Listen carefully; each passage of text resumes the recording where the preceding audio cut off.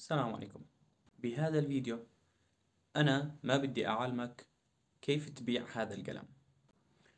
أنا بدي أعلمك كيف تخلي ال client يقول لك أنا بدي أشتري هذا القلم. okay؟ okay. في أكثر من نقطة لازم نفهمها. أولا العميل بحب يشتري دائما ولكن ما بحب حدا يبيع له.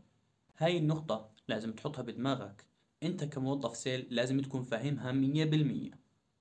حتى انت كشخص لما بدك تشتري ما بتحب حدا يضغط عليك مشان تشتري منتج معين وإنما بتحب إنه هذا يكون شيء من قرارك الشخصي.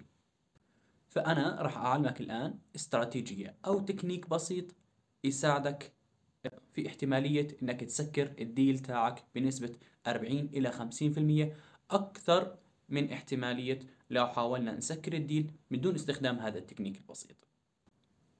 شو هو هذا التكنيك؟ أول شيء لو أنا سألتك شو أحسن طريقة إنك تسكر فيها ال offer تاعك أو ال deal تاعك مع العميل؟ راح تجاوبني إنه تقدم offer للعميل ما يقدر يرفضه. مثلا سعر مغري. بس صديقي حط في بالك هذا الشيء آه، طبعا خطأ. مهما قدمت عرض سعر مغري بالنسبة لك ما زال هذا الشيء غلط. لازم تقنع العميل إنه الشيء اللي بيدور عليه هو الموجود عندك بالتمام. طيب كيف أعمل هذا الشيء؟ دائما لا تعطي خيار واحد فقط للعميل. أنت مثلا لو دخلت على سوبر ماركت بدك تشتري منتج على سبيل المثال خلينا نحكي مسحوق غسيل. ورحت لأرفف اللي فيها مسحوق الغسيل فوجدت في عندك منتج واحد بحجم واحد فما عندك أي خيارات أخرى.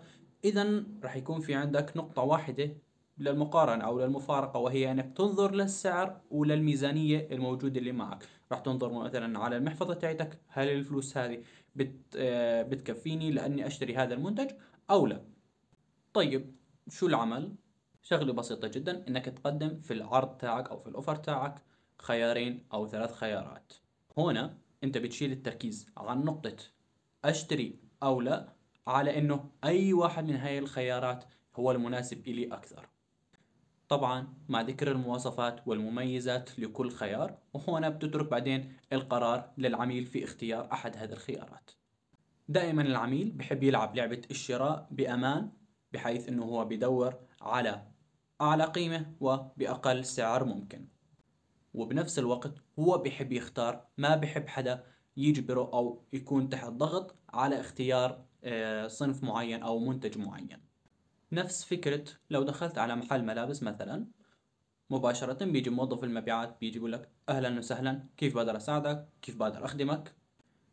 آلية دفاعية عشوائية عنا بنقول له لا شكرا بس بتفرج.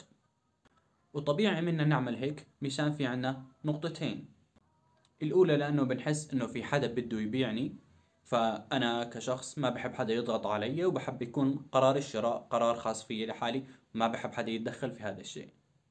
الثاني إنه أنا بعطي هنا فرصة لنفسي أفكر وأقرر براحتي إنه هل هذه القطعة اللي أنا ماسكها في إيدي هل هي المناسبة لي؟ هل هي المناسبة لميزانيتي؟ لذلك أنا بقول له عفوا أه، حاب أتفرج بس.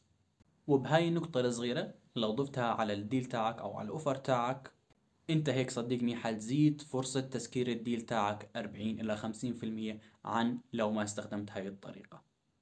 جربوها وخبروني زبطت معكم ولا لا. سلام.